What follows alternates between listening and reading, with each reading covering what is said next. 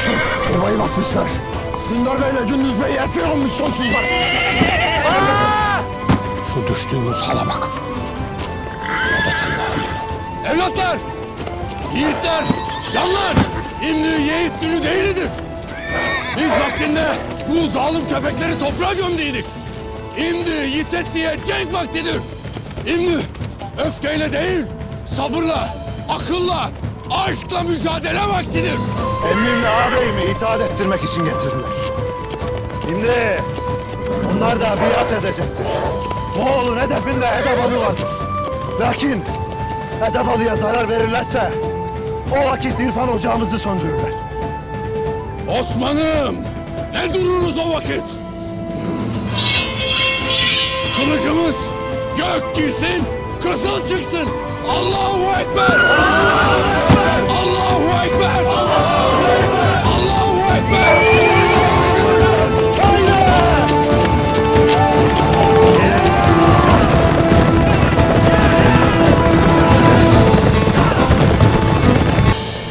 Yaylasına sığınan ahiler hazırdır pirim. Buyruğunuz üzere harekete geçeceklerdir. Eyvallah. Var olsunlar.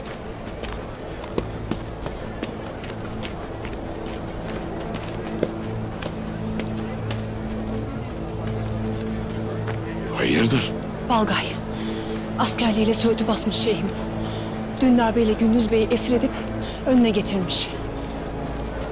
Dinci Alpleri halılara sardırıp atına çiğnettirmiş. Asmış. Bakara suresinde Rabbim der ki Andolsun biz sizi biraz korkuyla açlık ve bir parçada mallardan canlardan ve semerattan noksanlaştırmakla imtihan edeceğiz. Sabır gösterenleri müjdele ki sadece onlar sevaba ve başarıya erişecektir. Zülfikar, Ahilere de haber salasın. Bize tedbir almak düşer. Nereye gideceğiz şeyhim? Gitmeyeceğiz.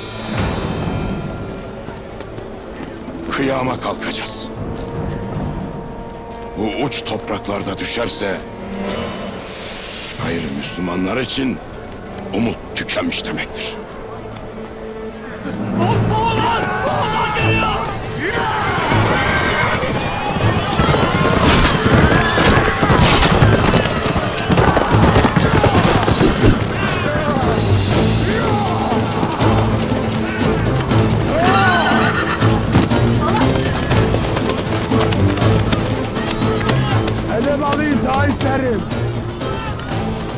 Yakın için. Yalanın yarenler, gün namus günüdür. Edebalı'yı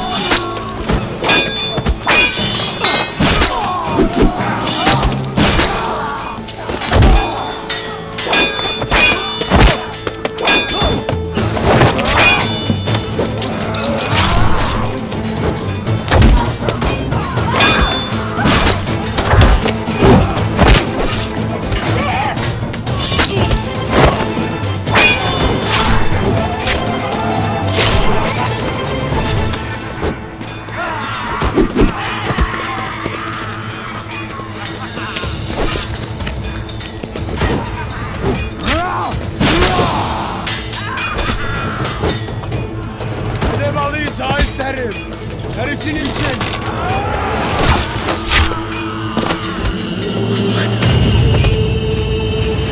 Yettim şeyhim! Haydi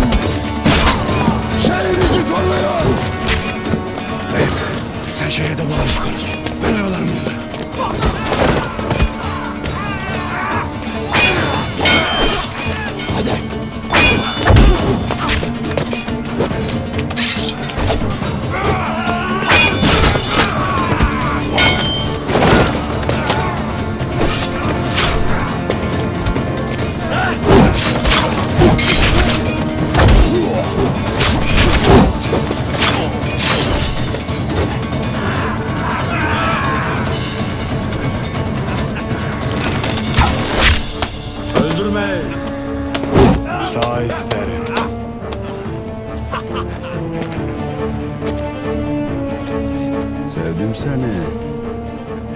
İşime göresin. Dikkat edesin. Ben demirden lokmayım. Çenen kırılmaya. Sen onları kurtardın. Şimdi de bana. Seni kim kurtaracak? Allah Azze ve Celle.